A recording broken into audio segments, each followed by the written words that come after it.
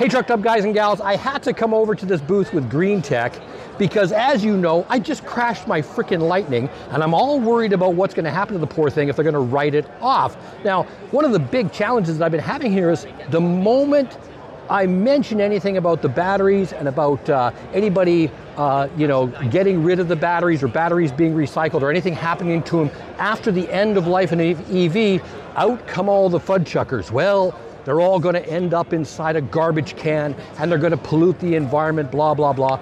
So we already know that those batteries are backed up by extremely long warranties to begin with, but when those come to an end, oh, there's a solution, and we're sitting at one of those solutions right now with GreenTec and Jax. Jax, thanks so much for coming on Truck Pleasure, EVs, absolute man. pleasure. And tell me a bit about what the frick all we got all these batteries around. I haven't been electrocuted yet. I guess that's good. uh, so tell me a bit about what you're doing, what your story is.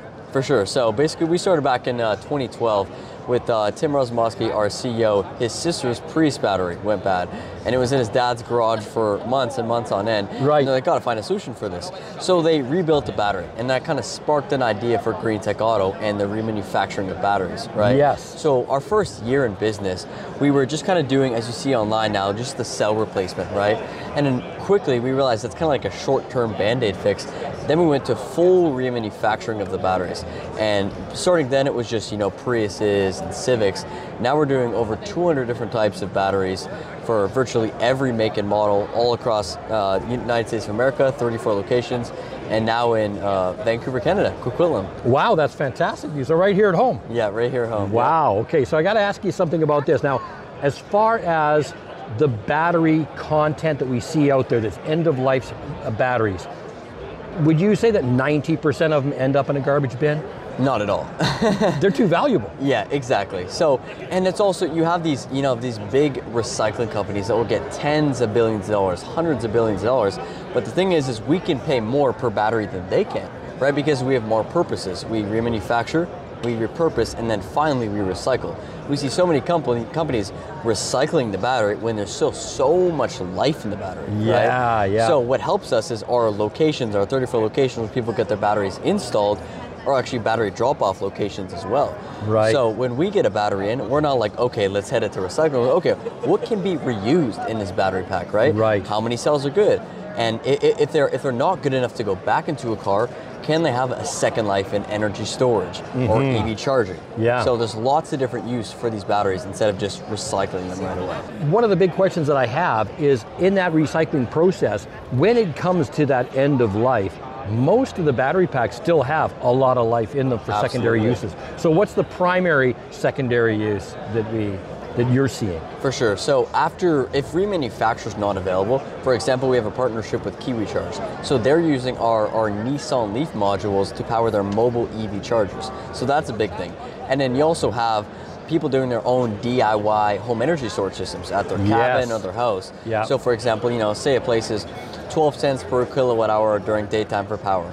After 11 p.m., it drops down to two cents. So they charge up the batteries during uh, nighttime, discharge during daytime, pay 10 bucks a month on power. So we're seeing a lot in the home energy storage space, which is great for you know the average person who has a cabin or a house and wants to save money on power.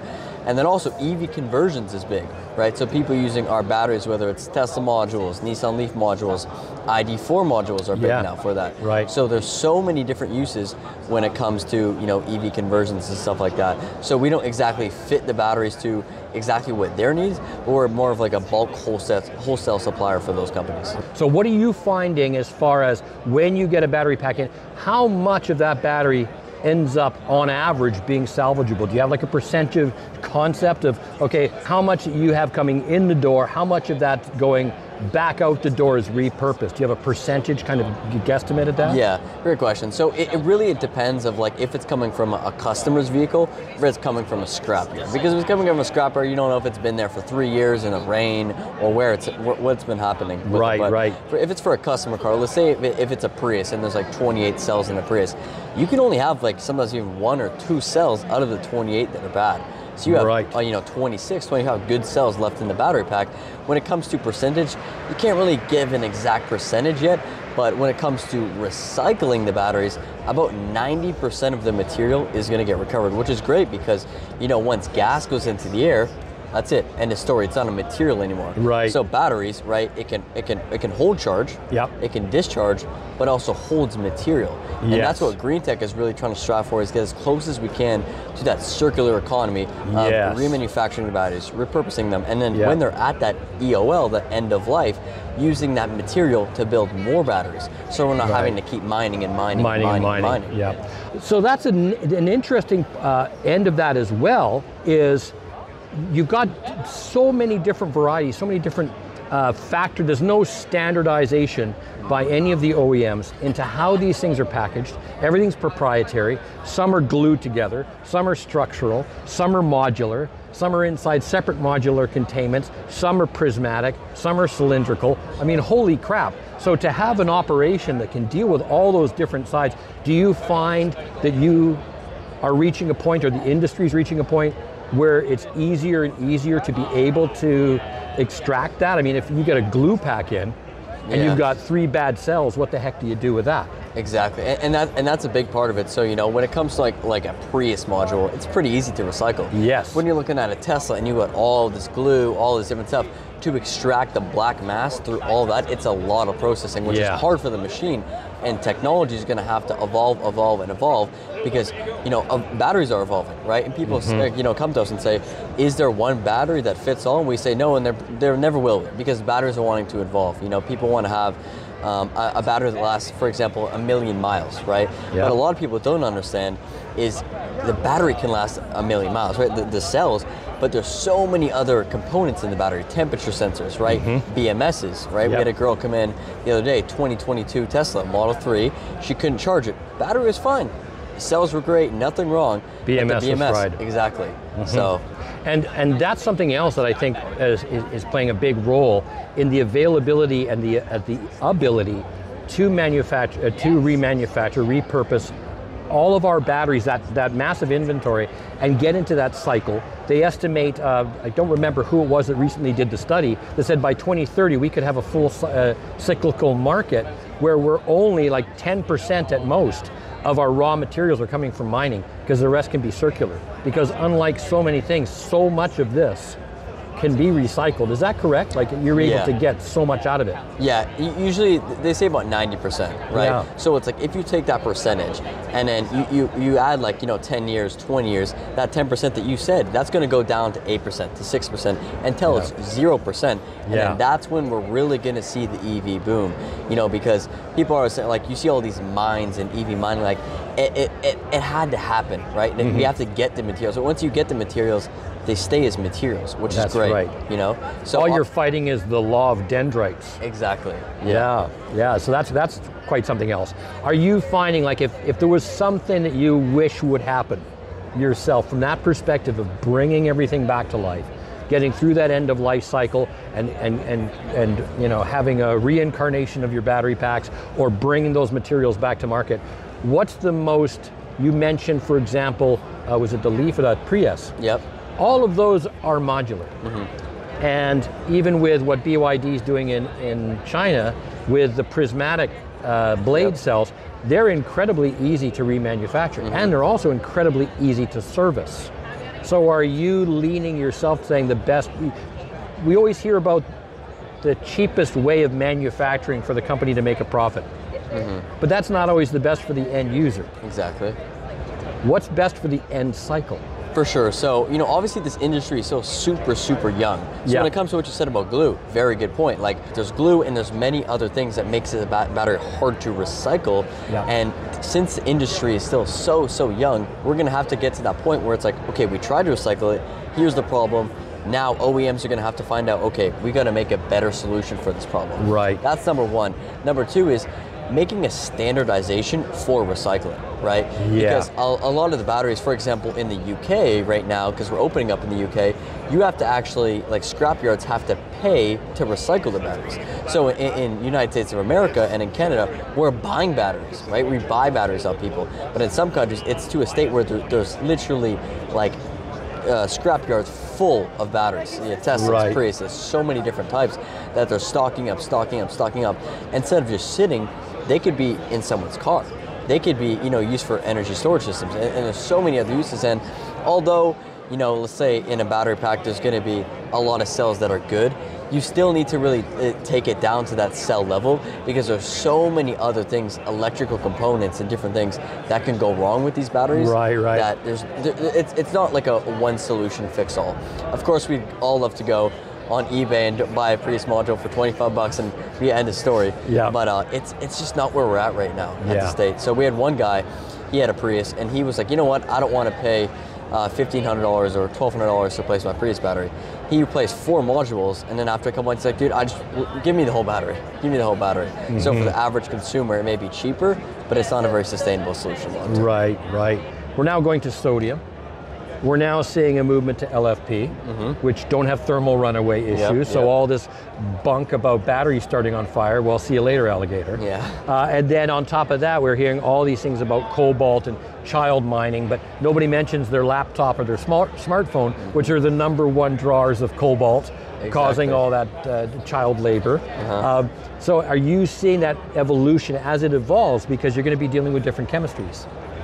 So does that, are you kind of future-proofing your own business because we're seeing this shift in even the batteries themselves that you're recycling because your whole recycling network is going to be changing Yeah, exactly. all the time as uh-huh. these batteries keep moving from one chemistry to the next. and and there's so many like there's only there's only not too many now, but in the future, who knows what can happen, right? Right. So right now, it's like the problem is is uh, a hybrid battery, you know, like a hybrid battery when it gets recycled, you have to have a hybrid battery recycling machine. For EV battery, it's kind of different, right? Yes. Like you know, you have nickel metal and you have lithium ion, right? Yes. So it's like two different kind of machines. When it comes to a point in the future where it's one standardized machine for all batteries, that's going to help it out a lot, right? Yeah. And and the great thing is, is like for you know a lot of these batteries, you're gonna have to disassemble them to the cell level. Something where you can just like throw it in there, and it will basically extract all the materials from a broader level. That's gonna be that's gonna be really amazing. And also, you know, bringing car companies, bring manufacturers to a collection of like, okay, what do we do with these batteries? Like, we need a standardization of, and that's why we think we're so useful because we have 34 locations. Not only battery installation, but also drop off, right? So the average shop who has a couple Priuses laying around, or a junkyard that has 20 Teslas, they can put those batteries to use. You Wow, know, right. it's not they're they're uh, useless. Uh, they can be reused, right? Right. Repurposed. So Yeah. Yeah, it's fantastic. So ba- basically, from, from that perspective, we're kind of in the Betamax versus VCR versus Laserdisc era uh, of, of, of batteries, and nobody's figured out MP3 and streaming yet. So, so we're on the road, Yeah, we're literally, getting there, yeah. to, to get there. Thank you so much for all your time. It's a pleasure that we came across your booth. I'm really impressed with this, and I think it's a message that a lot of people who are worried about EVs and they hear all this negativity, Mm-hmm. they can know that from start to finish, that full loop cycle is not only right now far more efficient in the, per, the use of energy than making a, an internal combustion vehicle. Absolutely. The end is also now slowly being looped. Mm-hmm. And now we're going to have the that cycle continue after the vehicle right back into it. Absolutely. So I'm very impressed with what you're doing. Thanks again Awesome. for coming on Trucked Up, man. thank you. It was so awesome to sit down and talk to GreenTec because it answers a lot of questions for a lot of EV truck folk out there about what's going to happen down the road. But it's just a little tiny piece of the puzzle. There's so much going on in closing that loop, and there's so much misunderstanding about batteries to begin with. These things can last for decades. What it takes to push my truck up a hill is a massive amount of energy and a lot of efficiency out of those batteries. But when that efficiency degrades over quite a long period of time, that same amount of energy density, that same amount of efficiency isn't needed to store power for my house or or to store power for solar power or wind power or for mobile EV charging like Jax men- mentioned. There's so many multiple applications for these things after their use inside an EV. So that means there's decades upon decades that can come out of those single battery packs before they end up being recycled. And the biggest thing that I wanted to wrap up with all of this is that the only thing that's really breaking down inside the lithium ion battery is the dendrites that build up. And I'm no great uh, genius when it comes to this stuff. I'm just a dumbass with a truck But it goes something like this you've got your anode, your cathode, and there's basically a charge and discharge that goes on back and forth these cycles. And when it charges and discharges over a great period of time, what are called dendrites build up, I believe, in the electrolyte, basically the film between those two parts of the battery that are going back and forth. So as those things build up, they become less efficient. But outside of that, that little tiny thin film Everything else is perfectly fine. So that's why we're able to recycle so much more of this product than so many other products that we say we recycle. It's estimated that by 2030, some say 2035, because we've seen a slowdown in EV development. I don't know about that if you go ask anybody in Europe or Asia. It is likely that we will see a full closed loop where only a small fraction of the material required are going to need to come from raw mining. It will come from recycled mining. That is absolutely fantastic. Hey, if you like episodes like this, because I'm going to dive into this kind of stuff deeper and deeper as we go, and learn more about how you can get totally trucked up, learn everything about your truck, you'll want to like, subscribe, and click that bell notification icon down below, or join my Patreon channel, or click the YouTube membership and become a member. You'll be able to watch all these videos in advance, and I do produce one exclusive video every month for my members. So if you'd like to do that, please consider becoming a member. I can't thank you enough for supporting the channel. Once again, as always, thanks for watching.